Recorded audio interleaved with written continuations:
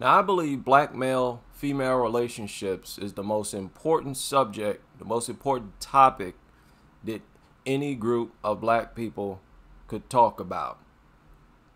No matter if you promote uh, black male, black female marriages, relationships, or if you are against them.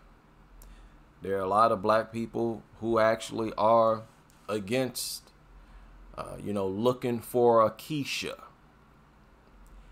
And I've been dealing with that over the course of several videos.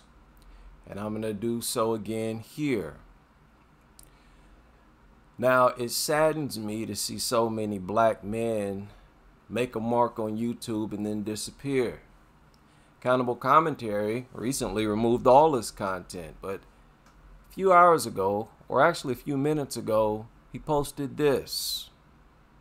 See the title? They're selling merch celebrating the demise of Kevin Samuel. As we all know, he promotes the idea of black men avoiding Keisha, avoiding black women. Stay away from them. Stay away from them actively avoid them. In full disclosure, I live the life that he's advising to other black men.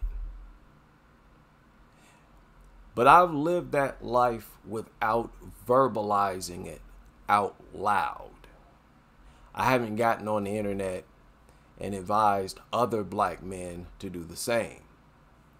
I felt motivated to, but I never did it because I personally always felt like it would be out of line for me to do something like that. Because I am my own person. You know, some other men could have a different relationship with some. Maybe some, they find a black female they click with, or maybe they could simply find a black wife that's good to him, at least to his liking, to where they have a family, etc. I always felt like it, it wasn't my place to do that. But I cannot deny that I lived the life that he's advising to other black men. And this is a huge reason why I live this life. I avoid Keishas. From my experience, it's dangerous being in relationships with black women. It is. If you're going to do it, you better make sure she's from out of town. And even then, you might be at an increased risk if these statistics are accurate. But I want y'all to look at this and I'll commentate throughout. I ordered mines at work yesterday. I'm gonna get the sweatshirt too, mine too. You see this? The t-shirt. They got mugs and everything. Kevin Samuels died. I ordered mines at work yesterday. I'm gonna get the sweatshirt too, mine too. Where did you get it? Huh? Look, look. They they ordered the mug. I want. I'm look. Look at this. This is them celebrating. This was last year. This is them celebrating. Needless to say, I'm ready for tomorrow's shenanigans. Look at this. Look at this. Look at the mug. This is sick. This is sick, man. This is sick. Look. Look at this. Look at this.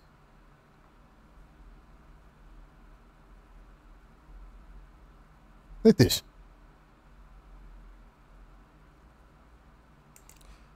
You read some of these comments, they are very sick. And there's nobody objecting to this. Look at this. Look at this. What a way to start the day. Then his arteries exploded. This.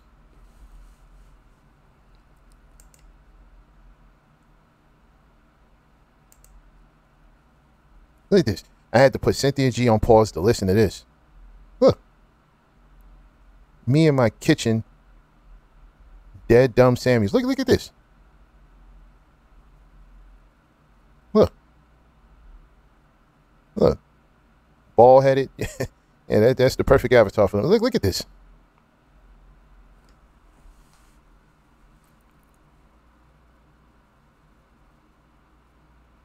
Look at this. This is very crazy. You get the time, read these comments. Very sick.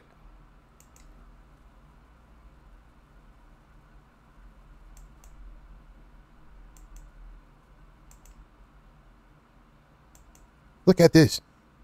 Look at all these Keishas. Look, the celebration. That's not that's that's a that's them posting some dude. I don't know why, but look. Look at this. Look at this Keisha said.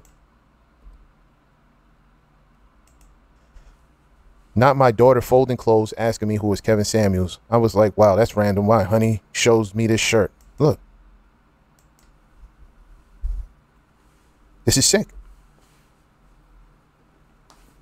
This is sick, man. Let me ask y'all a question.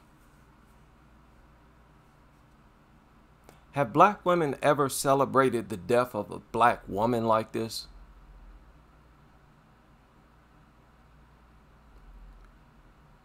There is a an evil that I see amongst my demographic of women. And it's a unique hatred, it's a, it's a hateful, evil spirit that hates me, that hates black men, hates themselves and hates us. Their hatred for themselves is expressed via hatred towards us. We are the targets of their self hatred, along with their own physical body. Remember, demonic possession always involves the destruction of yourself.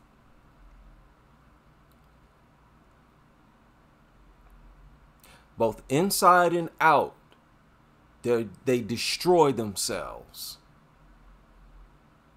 What percentage of them are involved in this culture? of at least destroying their outer selves. All you dudes that have issues with me, all you simps that have issues with me, telling brothers to stay away, they didn't know this man. He didn't do nothing to them. And Kevin Samuels tried to help them in a very mature way, and he is loved by people of all races all around the world highly respected by the highest people in society. He was an image consultant. Let me get this off of here. I don't want to look at her chest. Matter of fact, let me allow the brother AC to add a few more uh, words. He did nothing to them. He told them the truth. What did he do to them? He told them the truth. And and nobody seems to point this out. They kept calling into his show. If you don't want to hear the truth, don't call into the show. If you if you have issues with it, don't call into the show. Don't listen. No. They were so vain that they called into the show because they wanted to show him up. They wanted to tell him that they got it going on. They wanted to tell him, hey, this is possible. They hated the fact that a black man was putting a spotlight on their flaws. It was all because a black man was saying it. See, when you spot that demon, when a person is demonically possessed, and you call that demon that's inside of them, the person who is possessed is going to start to act erratic. They're going to spaz out. May even start foaming at the mouth. This is an evil demon inside of our women. And it's just full of hatred. Full of hatred for black men and for themselves. Or this is possible, but is it probable? Anything's possible, but is it probable? Kevin was an image consultant. And he decided, he thought to himself, he said, you know what? Let me use my profession, my knowledge that I've been using in the corporate sector. Let me use it for my people. That's what he did. Let me use it to try to help the black community. That's what he was doing. Let me help black women. He was trying to help black America by bringing to their attention their unrealistic expectations and the truth. Everything he dealt with was the truth. Thousands of black women themselves admitted it, but they still got this hatred. Why? They just cannot respect black men. This is why I reject throwing the M bomb around recklessly. Yeah, nigga this, nigga that, nigga, nigga this, nigga that. And you always referring to black men. I don't get down like that. And it's hard for me to listen to content creators like that. In fact, generally, I just can't listen to it. The problem with today's black America is there's no respect for fathers, no respect for black men. There's no respect for the men. Keisha, just like Massa, they only like black men if black men are slow, degenerate, easy to manipulate, easy to control. They don't like normal black men. Think about that. That's plantation mentality. That's plantation mentality right there. The slave master did not want a normal thinking black man. So the bottom line is any rejection of black men being normal, just like all other men, is a war against black men. Kevin Samuel said, Let me take my profession and try to help my people, help my community. And dealt with nothing but facts. He gave you tough fatherly love, and I don't regret none of it. And I believe it contributed to his heart condition. He pointed out how y'all need to stop making excuses for obesity and practice self discipline. You can never be in the wrong when you're suggesting to an undisciplined group of women to practice self discipline. What is there to hate about a man like that? I'm at war with the lack of respect for black men. And I want to be overt about that. I'm sick of it. It's enough to drive you crazy. Respect us just like you respect Brad, and we won't have no problems. Follow us and admire us. Hang on to our every word like you do with Brad, we won't have no problems. But the way most of them are today, we got problems.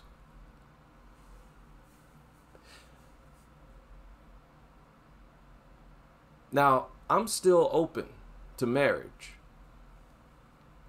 If I were to find the right black American female. I'm that's just how I am. I'm a cultured man and I want my kids to be black American. I don't want no conflict or confusion or infusion. But I have no confidence that I'm going to ever find that mystery black wife. And I am not looking, I'm not actively looking for her. If I find her, I find her, and I'm very lucky. And I cannot sit around and let my life waste away looking for this unicorn Keisha. And it's sad. There are many other proud black men just like myself. And we refuse to introduce the drama into our life. Like I said, it's dangerous. You break up with a black woman, she get her pookie family come delete you. It's dangerous. You're safer dealing with uh, Becky, Ling Ling, because they're definitely going to want to keep you a secret. They don't want to tell none of their family members that they're dealing with you.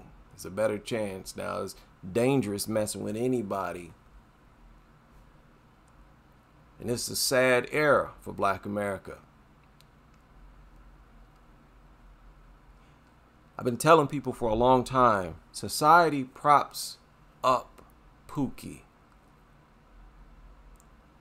Society made Pookie a star. When you see these rappers, you're looking at Pookie. It's an overt, irrefutable degradation. They, they degrade black men's image right before the world for everybody to see. This these are the types of men that they're grooming black boys to want to grow up to be. And too many of their mothers are grooming them on this filth, this degeneracy. To the point where we got names like Chiraq. Black community is in shambles right now.